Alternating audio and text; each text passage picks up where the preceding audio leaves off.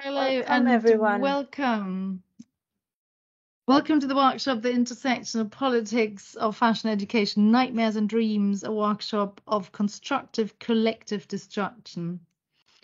So this is not so much a panel, it's really an interactive workshop. And and um, as an interactive workshop, it would be fantastic to to see some of your faces uh, and also to hear where you're joining us from. So please use the chat to just quickly put in where you're joining us from today. Um, might be the city or the college or also the course that you want to include.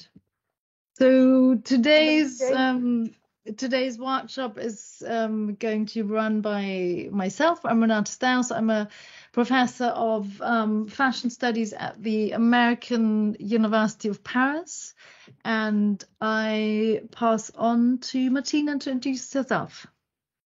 Hi, everyone. My name is Marteena Mendelssohn. I'm a student at the American University of Paris. I study creative writing and I'm an intern for Renata Stauss and Franziska Schreiber. Yes, thank you, Marteena. So Welcome everybody. My name is Franziska Schreiber. I'm a professor for fashion design at the Berlin University of the Arts. So I'm looking more from the practice-led side perspectives on this workshop. So what uh, what brought us together um, and really yeah brought us together was really this this love for making and and wearing fashion, for learning and thinking through fashion, and we were also brought together by our critique of fashion education, as much as um, our belief in it and its potential, um, and a critique of its exclusiveness of its discriminatory practices, its complicity with and feeding of a highly problematic industry, as much as its connective educational and transformative potential. So that's really in line with what Bell Hooks has expressed as the classroom remains the most radical political space of possibility in the academy. And we would add that education in itself does not automatically hold the answers, as David Orr has noted so poignantly um, in his saying, it is not education, but education of a certain kind that will save us. So it's really this, you know, simultaneously thinking of um, exploration, critique, and possibility, which determined our work on fashion education, where we founded the digital multilogs that some of you have might come across, also participated in um, 2020, 2021, and then just on Wednesday, um, the multilog on what can fashion education do, taking the predicament that the world is on fire, but we're still teaching fashion. Um, and also through our um, podcast entitled Fashion is a Great Teacher, where we, for example, spoke to Tanveer Ahmed. Um, I think some of you might be lucky enough to be in class with her um, and really speaking about different fashion educational practices. So, for framing this workshop, Franziska is going to, yeah. to give you the core idea. Yeah. So, today's workshop the Intersection of Politics of Fashion Education, Nightmares and Dreams, is a workshop of constructive collective destruction.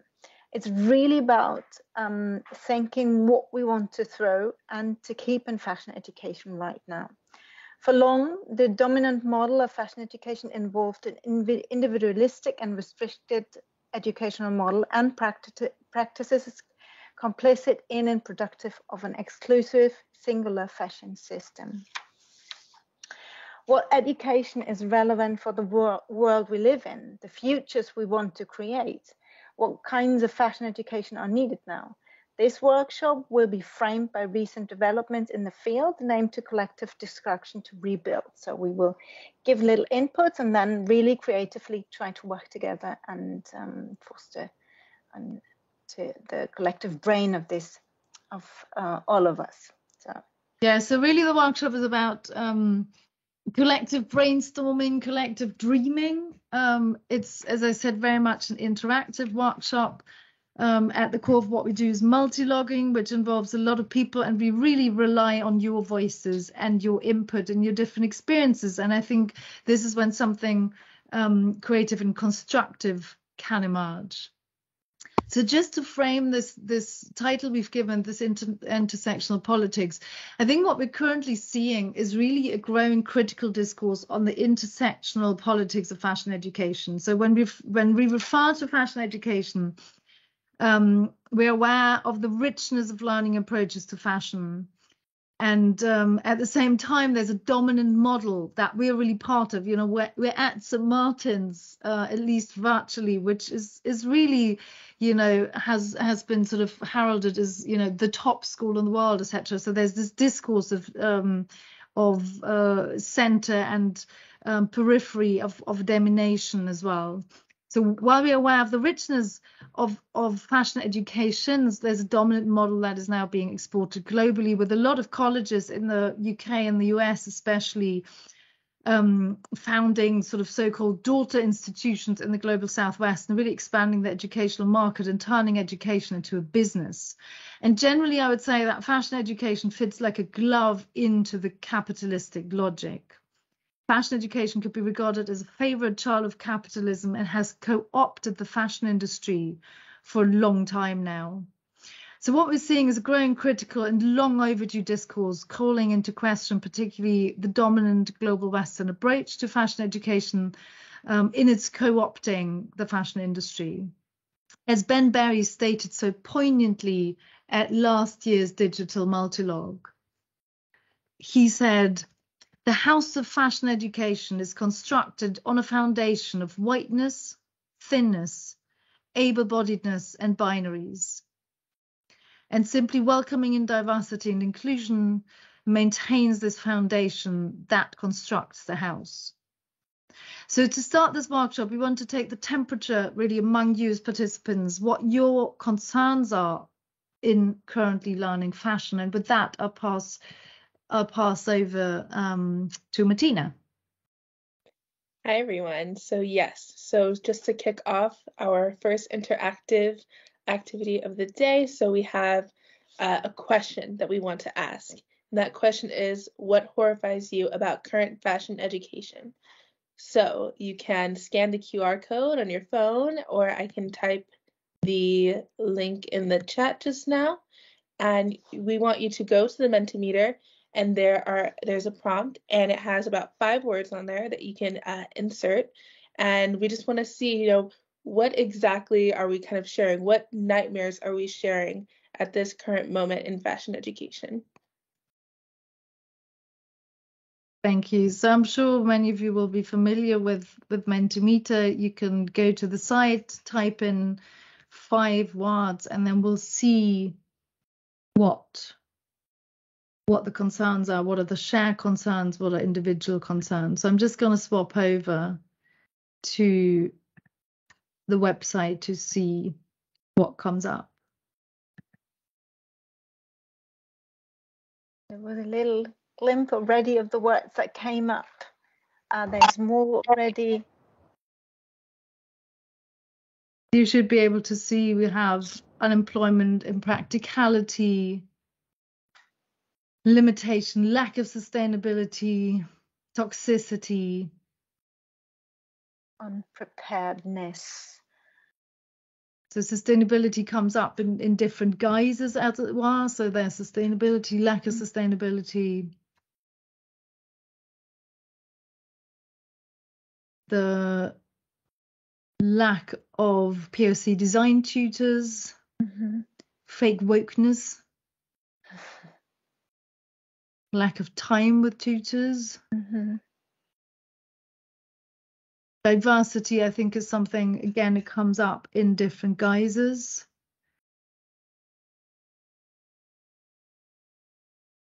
That's great. Thank you all very much for contributing and, and, really, yeah, showing us, giving us an impression um, in a way what shared concerns are um, with what we're doing.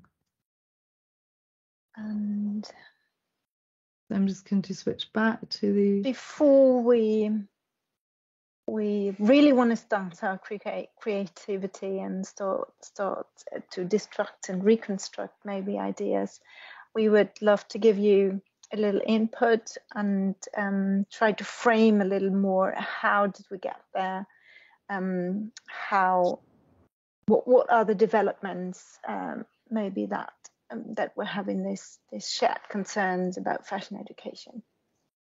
Because really what we can see that fashion education is is in in crisis. It's not aligned. It's not fit for purpose and it needs rebuilding. So what we've done is look back and, and asked ourselves okay how did we get here? So we've identified these six major developments in the recent few decades in fashion education. We're going to very quickly outline them and then ask you back um, to think with us to think together you know what to throw what to keep and how to go about it yeah, first development is, uh, or we call it academization. So fashion education is originated in studio work. It used to be an education of makers. So traditionally the making, but also designing of clothing has been taught in the business really, mostly at craft in workshops. And um, since the 19, 19th uh, century, it started to, to um, also been taught in, like you see in the picture, in vocational schools. And since then, um, fashion has started being taught at technical colleges and also universities. And there's there's a major development in the last uh, 100 years that it moved from the major more vocational training to of craft and making to widely established tertiary education. And what's um, what's come with that is really the structural and conceptual academization was fathered by an intellectualization and a scientification of fashion.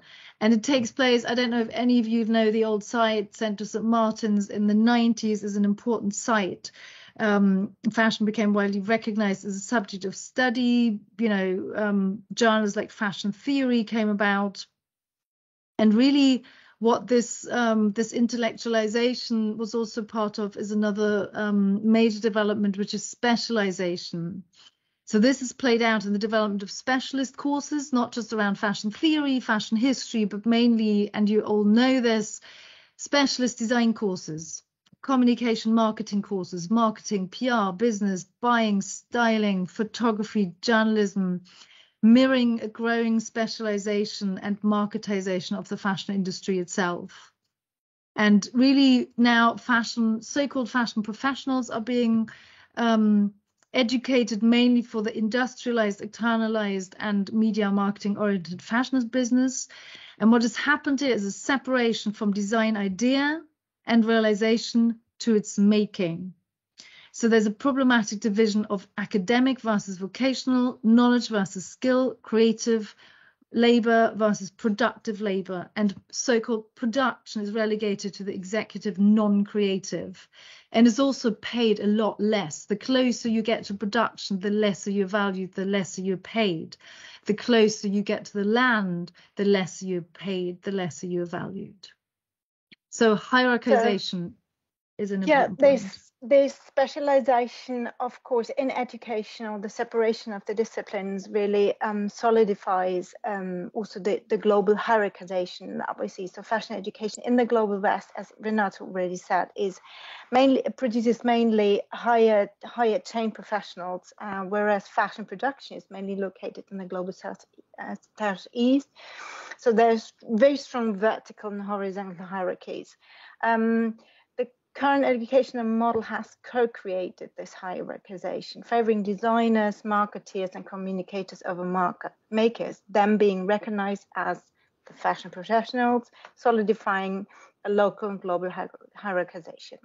And these hierarchizations are, are of course, visible in, in uh, various fields of working conditions. We're talking about salaries, working hours, and also in the validation of intellectual work versus manual work something which which we're all witnessing is a huge expansion. You know the specialization i just mentioned goes hand in with the, with the huge expansion of the field of fashion education which has essentially become a business. So where we are joining you from which is from um, berlin at the moment in germany in 2000 you had 4000 enrolled students in this area of, of textile and fashion. Um, 2020 was 6,000 students. The problem is that only 92 companies in Germany um, larger than 50 employees to employ these. So essentially, these students are going into an empty market. In the US, um, the same has happened where student numbers have tripled. In the UK, where most of Europe are, are based, um, over the past two decades, fashion has become one of the most competitive courses at university with at least six applications for each place at the top schools. So here you can see that the UK had over 1,400 um, fashion design courses provided by over 200 providers. Um, you have 4,000 fashion design graduates uh, every year. Um, eight or seven years ago, you have almost um, double that number now. So it's more schools, more courses, more students, but especially from the late 1980s, you see this vast externalization of the industry away from Western Europe and North America to the global South in terms of making. So there is a there is an industry that's really um, uh, you know not relevant for for the number of graduates that are coming out of this system. So there's a quantitative um, discrepancy, but there's also a qualitative discrepancy. As um, Frederica observed, teaching methods are often the same as they were 100 years ago. So huge expansion, but no development or little development. Yeah, and fashion education has developed really into an education business with that resonating cavity in the labour market. Um, the larger creative industry developments created breeding ground for privatizations and boosted the market where education is based, dependent and interlinked to economic efficiencies. Um, private institutions or educational powerhouses, I think it's also because we're looking from Germany um, and the, the private educational market is a different one from the, the one in the UK, I suppose. Um, it is important to note that fashion education, of course, has a long and rich tradition in all parts of the world, and that we are just critiquing the Euro American model because currently we see an expansion of this model taking as an economic opportunity in um, various um, regions of the world. So while it is clear that education costs money and design education even more so, there is an urgent question of ethics with unequal opportunities and access. We're witnessing an acceleration, intensification, and a dangerous sh shift in the values. Um, and this is also fueled by the processes of digitalization. Um, and digitalization, I mean, really, it's been an important drive and determinant in the fashion industry and fashion education in the last years anyway. COVID has strongly amplified and accelerated um, the developments. There are these big hopes and promises to do better, more accessible, to be more sustainable. At the same time, the process of dematerialization, dehumanization change the pace and cycles of making, of learning, of teaching. And there's again a set of ethical questions occurring when it comes to constructing a digital value chain. So um, just as one example, you know, you have digital fashion being made in the global West and shown by big fashion houses. They're being programmed by, for example, Indian programmers in huge halls that get, that get paid a pittance. So you have the same model, the same economic capitalist model, exploitative model um, repeated. Yeah, I. Um, these developments that we just described, so academization, specialization, hierarchization, expansion, commercialization, digitalization of the fashion education in, in recent months, years, and decades, has resulted in what we see as a lack of alignment between current fashion education, the professional field of fashion, and the world we live in. Um, the values of fashion education don't align with the values needed to create a more equal and sustainable world. And as a result, we find ourselves within a fashion education system characterized by discriminations. So these developments have produced highly exclusive, expensive, inaccessible, irrelevant fashion educational system. Educational opportunities, um, discrimination based on race, national origin, sex, religion, disability, language skills, economic conditions remain rife and concern access, study, and career chances. You could say getting in, being at, and moving on fashion education is really um, divisive. There are different discriminations at different stages of the education that need to be taken into account. Um, the figures are still hard to get. Um, you get some figures about access uh, to university.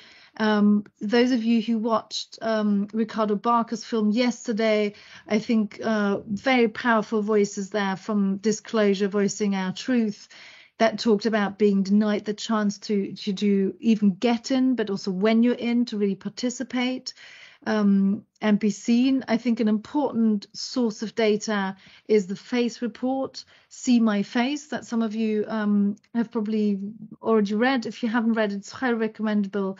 And it's um, it's really showing us the differences um, in perception and, and access um, for what they've taught minoritized um, students. Um, the the need for transformation is really rife, um, and there are many important voices. Tanveer at um, at Central St Martin asking questions like, "Are fashion sketchbook races, for example?" Um, the Face Summit is is a you know hugely important and timely event um, to address, but also to bring people together and collectively work. But how do we transform? fashion education? How do we transform the sector? Um, there are different ways of transforming a problem. Um, one is to stop something, to stop doing bad. The other is to amplify the good. And the third is to develop new behavior. And this is what we would like to do with you now for um, this next really interactive half an hour, um, a kind of creative, collaborative, constructive destruction. Yes, so let's start with our first collective brainstorming round. And um, first, we first want to use our creativity to really turn turn the question somehow around and um, ask, or I would like to invite you and um, ask the question. So, what can you do to create the most horrific fashion learning experience. So it's really about thinking what um, actions, what learning settings, what experiences um, make fashion fashion learning um, the most exclusive, the most discriminatory, most devaluing experiences you ever could think of. So make yourself a list really. If you have a pen and paper, please grab it, make a list for yourself or try to collect um, ideas in your just for yourself in, in, in the brain for now. Think make a list of what can you do to create the most horrific fashion learning experience. So make a little list go wild go crazy use your creativity to really think about the, the, the the biggest nightmares that you could imagine that could happen in a in a fashion learning in a, in a space where we learn about fashion together. If you have that list, then of course we would be curious to hear what your ideas are about. Please put it in the chat. So what do you think of what what are the most horrific fashion learning experiences? a crit day every day. Very nice. Good idea. So let's go. What are there other ideas? So what are horrific fashion learning experiences? Not sleeping and eating properly. Yes. Having tutors falsely lead you on with encouraging that you pursue a particular discipline within fashion because of course not a way to harness creativity but just a business. Yeah no diversity in the student and teaching body. Yes. Bad teaching with a lot of ignorance. Yes of course. Let us know about your ideas. Teach only global western fashion history the assumption that a person doesn't speak English because of how they look like and pretending to not understand what they are saying, regardless of how well spoken they are. Of course, there's language coming in, discriminations by language, and thanks a lot for sharing.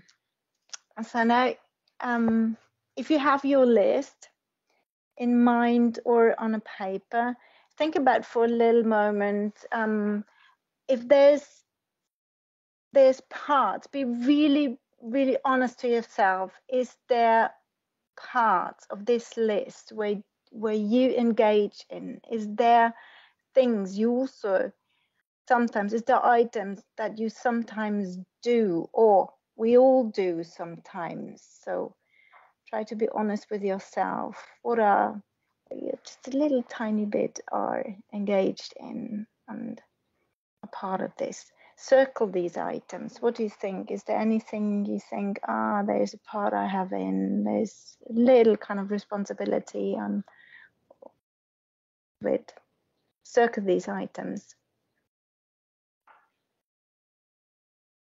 And if you if you have circled them, then now underline items that you really would love to stop. So, what actions or behavior do you really want to stop? Underline these. If you've just joined us, um, we're we're engaging in collective um, creative destruction of the current uh, fashion education model and thinking about what can you do to create the most terrific fashion learning experience thinking also what are our parts that we play? What do we contribute? And what is it that we're wanting to stop? And we're now just very briefly going to send you into breakout room with another person in the workshop to have a very brief exchange about what it is that you're wanting to stop? What have you come up with? And what is the point where you say oh this is something actually i i do sometimes do and as Franziska said sometimes we all you know we all do certain we all engage in certain behavior where we know this isn't really contributing to to the best possible um, learning experience here or the you know to most open or equal experience for everyone. So we're going to you be sent into a breakout now um, for about five minutes and then call back. So have an exchange with the partner in your breakout about what it is that you're wanting to stop. Sarah will kindly send you into a breakout.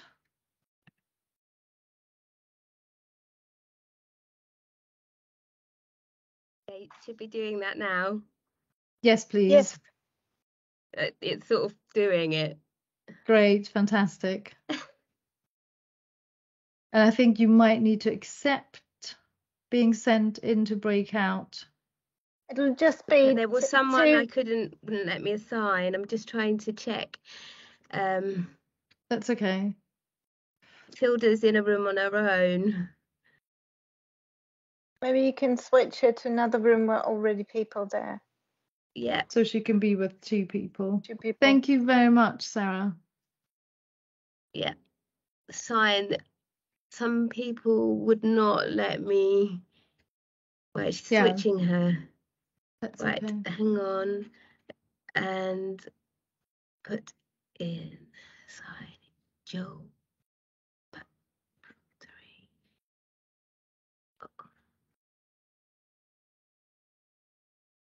Franzi, ganz kurz, ich glaube, die, den letzten Teil, des, den dritten Teil, was Ja, kannst du kurz, machen wir Mhm. nicht als Breakout, sondern machen wir Mal nur als, äh, Netz. Mhm. als kurz und dann nur in Ja. Chat, ne? Und kannst du die nächste Frage dann auch wieder in Chat posten? Ja.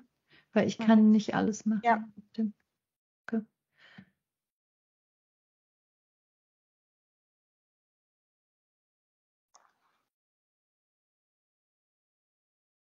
Marteena, are you at um, AUP right now? Yes, yes, I am. Great. It's been your crazy So- day, hasn't it? For how many minutes we should um, let Well, we said we said five minutes. five minutes. Did you, Sarah? Did you pre-program or do you um, manually get it? I didn't people pre- back? I manu- I'll manually call them back. So tell Okay. me, can you just give me? So how was Yeah. that? Sort of three more minutes. Yeah, I think two and a half, Yeah. kind of. two and a yeah. half.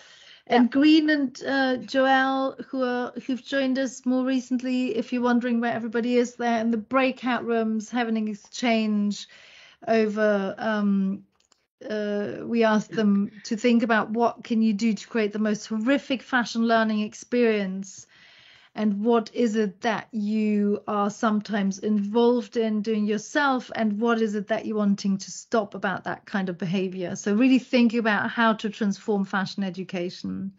But everybody's going to be back in about a minute and a half, so Yeah. you can just um, hang on, and we'll Hang on, continue in a moment. Renate, what was the the next round? How many? The next round is it's three people. Three Fine. people, yeah. Yeah. And we are just going to do one more breakout and not two more breakouts. So, ju- so just one three people Just one more. breakout. Perfect. All right. Thank you.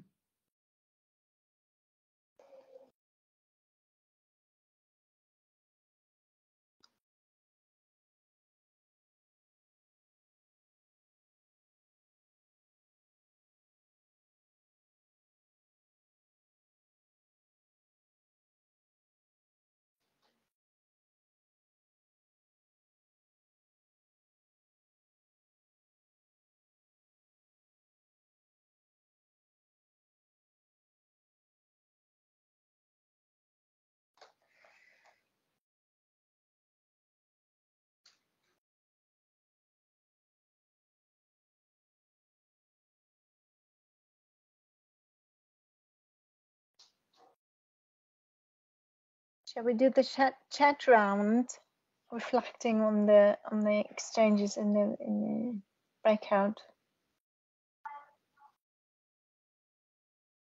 Just No, I we think we'll it? go. Yeah. We think just we'll drop go. it and we go further, Yeah. right? Yeah.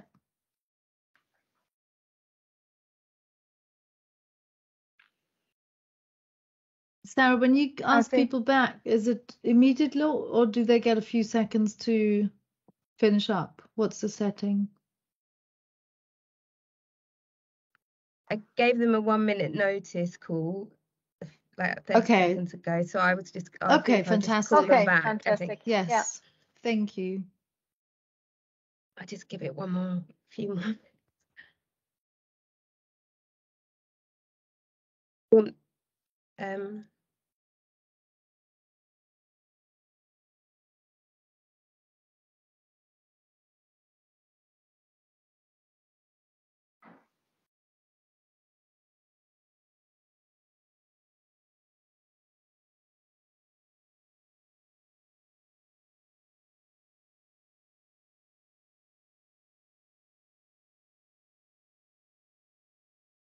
Okay, so participants are supposed to come back very soon, right?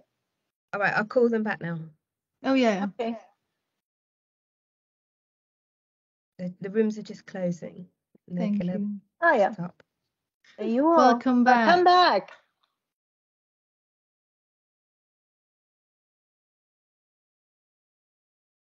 So hopefully you enjoyed the exchanges about um, what you really want to stop. So what kind of horrific fashion learning experiences you, you never want to experience again. So um, let's go on with our creative distraction.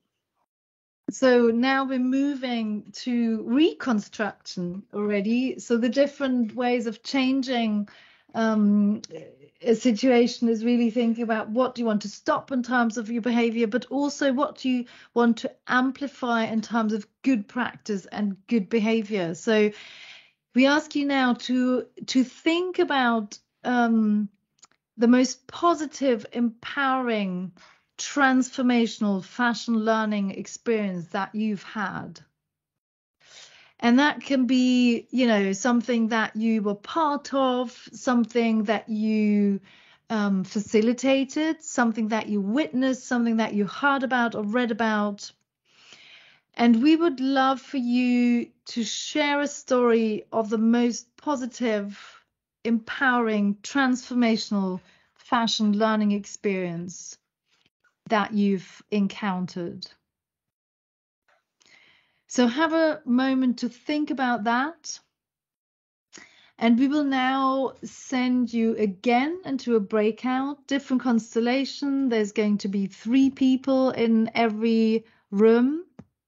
You might want to, you know, open your cameras for these little chats to make it a little more personal, to create a bit more of a personal space. And we ask you to each share a story.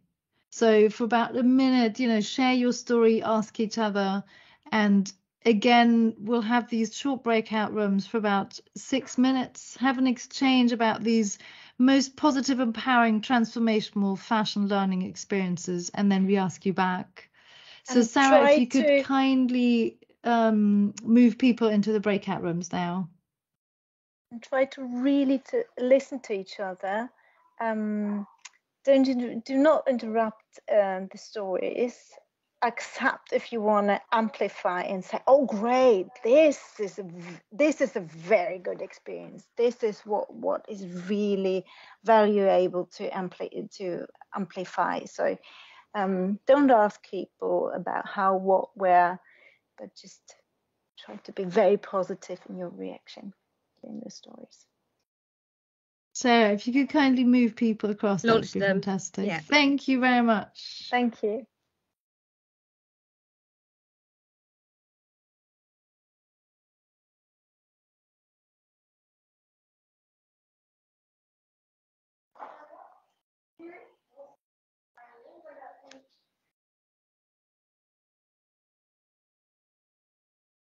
So, Sarah, were you which session were you in before? What was the last session you were doing? So I did the the panel one, uh, which was um with Oh, I was there. It was really Lovely. good. yeah, it was lovely. Yeah, Yeah, really strong. Rada. Yeah, they were great. Yeah. You know what I loved about Sorry. Which one was it? It was about racism in the fashion industry. Ah, really good. So, Marteena, was you wanted the to say something? Yeah. You know, I was just gonna say that the Mentimeter for the dreams one is the same as the nightmares. Is that okay? Or Yeah, it's the same link. It's just Okay. page two, basically. So what I will do, which I can do, hold on, I quickly stop sharing. Very good point. Thank you. Um, so what I will do is already move to To the Mentimeter. second one. Yeah. So it's the same link, but it's just the second um the second page basically.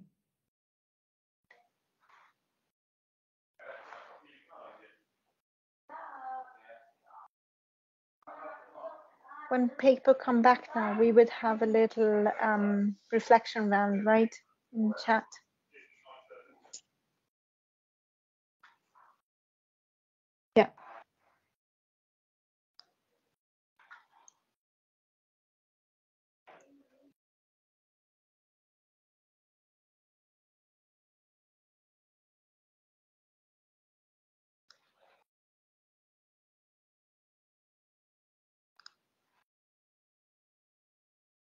Marteena, did were you able to attend anything from Face? no, unfortunately, I haven't. I was just in class all day and yesterday, so I just Yeah. missed the whole thing. Yeah, it was really, really good. I enjoyed um yesterday Christina's talk, I thought was great.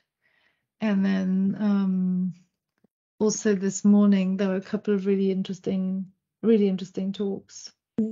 Sarah, were you able to go to any or are you more sort of in the on the tech side for this? Yeah, I am more on the tech side, but I did manage to get to listen to some. Like, I think um, I was on the, I was listening to my phone on the way home with my kids. Like, I'd had to take them to their swimming lesson, and so I was like making sure it worked, and I was like listening in. It was great. Yeah, it's really Yeah, fun yeah. yesterday. Oh, yeah. Good. Yeah, I was. I was in uh, the in the digital um, talking about um, like discriminations and in, in digitization and ignoring Kamisani. Ah, Something. yeah. He was also in talking about digital sustainability, but there was Mm. also someone else, Sonia Sood, I think. She was talking Mm. about data, data, like how racism solidifies also um, uh, how data analysis um, solidifies also racism. Very interesting. So not knowing about the the sort the right sources numbers of data is really interesting. Hi, Patrick. You've just joined us. Um, the other participants are just in breakout rooms, uh, talking about positive experiences um, and empowering transformational fashion learning experiences. So they should be back in about um, one minute. So just bear with us. Um, Sarah, if you could give them a note and then pull them back in one Pull minute, that would be fantastic. One minute announcement. Yeah, I've just said. Yeah. Thank you so much.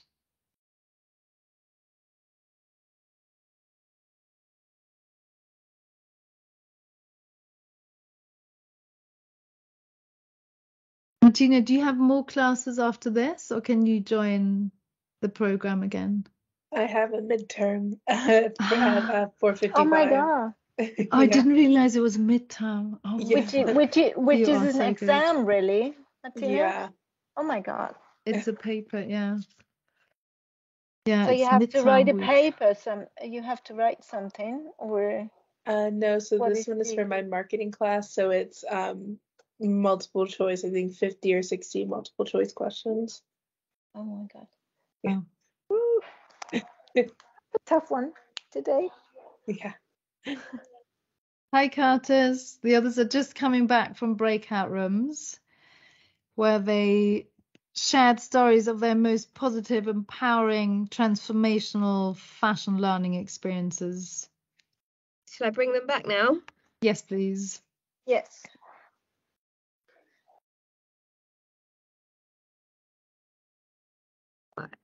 Just called them back. Thank you so much, Thank Sarah. you. Welcome back. Back.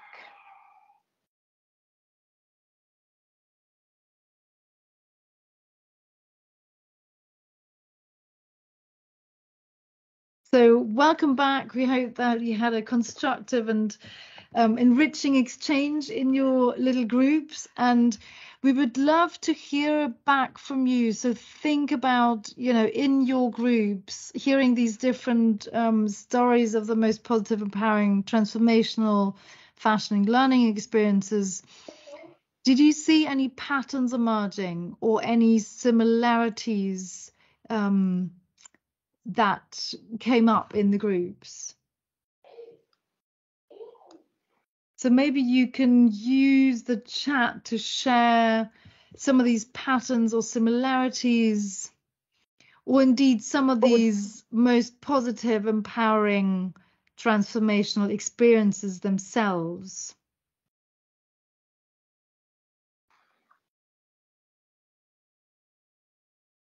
Or maybe some of you, rather than writing, would also just like to open up the mic and share one of the stories that you've had, one of the moments.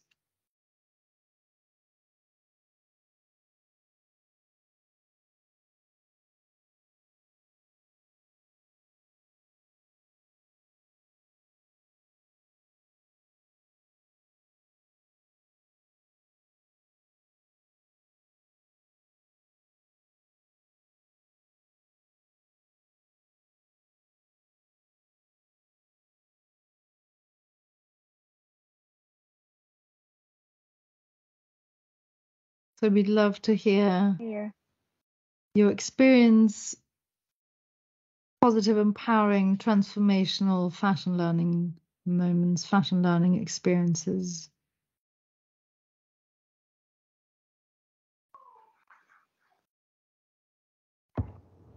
Hi. Hi. So Um, I guess I would like to share like when I was in my internship, I guess it was quite an empowering fashion moment for me because um, my boss actually took time into uh, harnessing thinking skills um, other than just the making. He would make us read books and report back to him after we actually read through them. And I believe that was the beginning of like a positive change because it made me think, you know, that all these rumors are not that bad when you appear in the right place since there's a lot of rumors about fashion being quite tough on people. And uh, i guess the mentorship really strengthened my character as a person and it made it allowed me to have a safe space to become a, a better version of myself i guess so that's about it i think Brilliant. Thank you so much for sharing that. That's great. Anyone else would like to share a, a positive learning experience?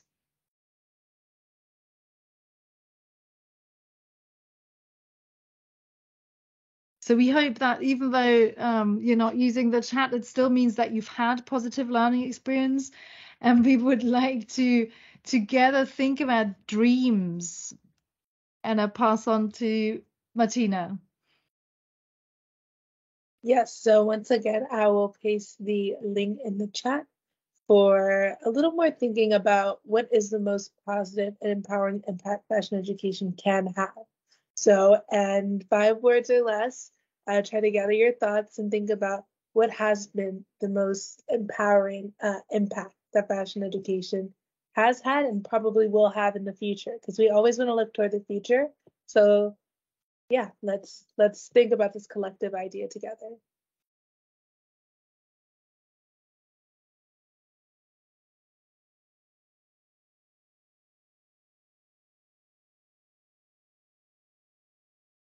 I'll just switch over to the other site again and see what what dreams are emerging.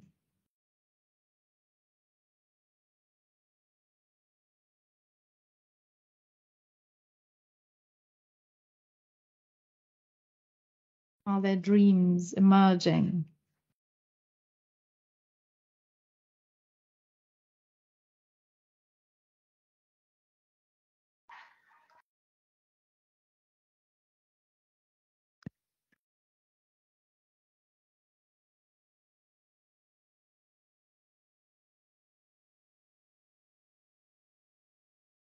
What do you think is fashion education capable of?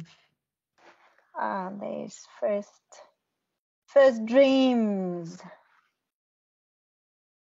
free thinking, the hands-on of fashion education, innovation, inclusivity, empowerment of pop, guidance, creativity,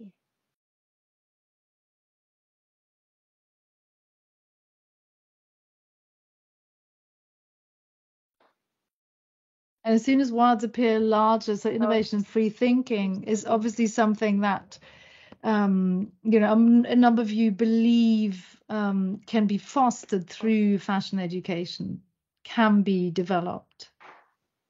And even though, for example, we've seen that diversity was something that you were also, you know, lack of diversity was something that you were horrified with currently in fashion education, it also has the capacity to to foster that to open up to that. It can include all of us.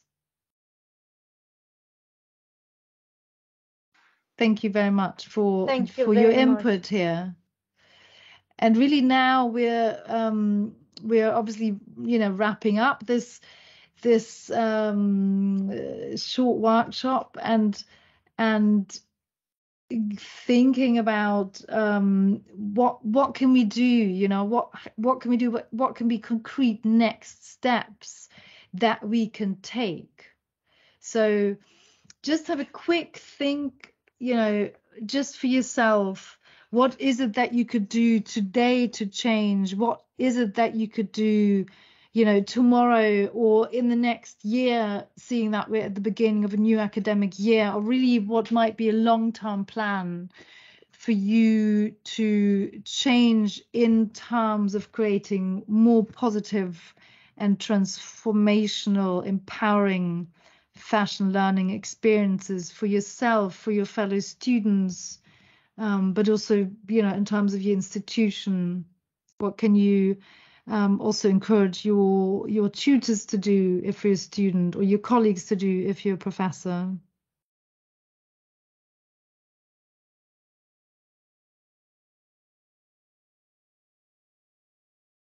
So we hope you you, you can think about that and come away with a um, with a sense that you know it's it's worth reflecting on on the the bad behavior and trying to stop that it's worth thinking about the you know the, the good practice the encouraging practices and amplify those but also to think about okay what can i do? What can we do today tomorrow and um, and in the future? So we really want to thank you very much for participating in this short um, workshop for drawing up these concrete steps to build a more inclusive, just and beneficial beneficial fashion education system.